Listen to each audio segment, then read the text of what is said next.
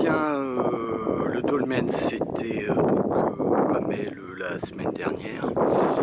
Et ben, me voilà ici dans mon village.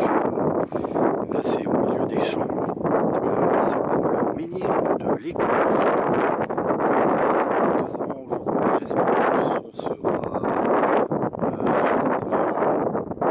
Donc voilà, Pierre planté au milieu des champs. euh, euh, on ne le voit pas tellement, hein. il, faut, il faut connaître l'endroit. Bon, maintenant avec euh, le GPS, on arrive euh, hein, à au centimètre près l'endroit. hein. Donc voilà, c'est un petit menhir hein, au milieu des champs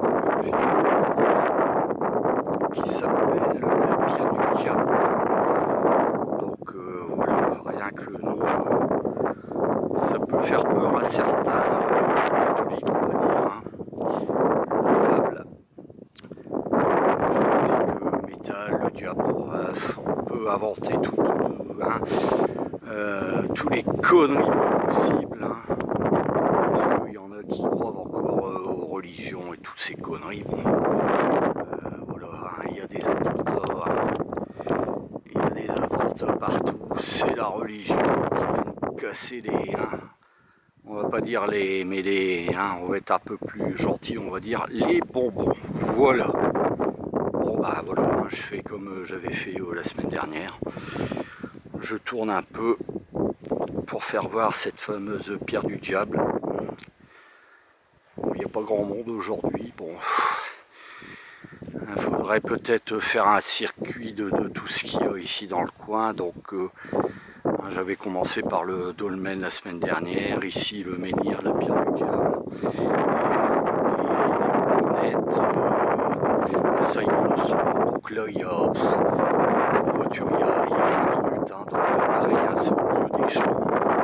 Il faut connaître également, mais bon, avec une langue, on tape une porte, et puis voilà, hein, il n'y a pas de... C'est...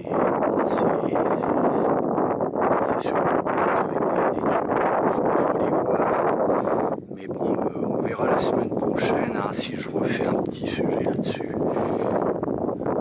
Parce que c'est c'est, euh, connu dans le coin, les bonnettes avec des.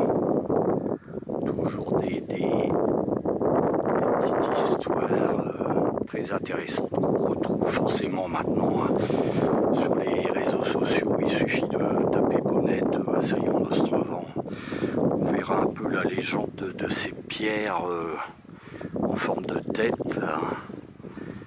Vous verrez, vous ne serez pas déçus par l'histoire. Bon, ben, je vais arrêter la vidéo. hein. Je vous souhaite à toutes et à tous un très bon week-end. Pour ma part, ben, rock euh, in l'écluse, c'est pour demain dimanche après les élections.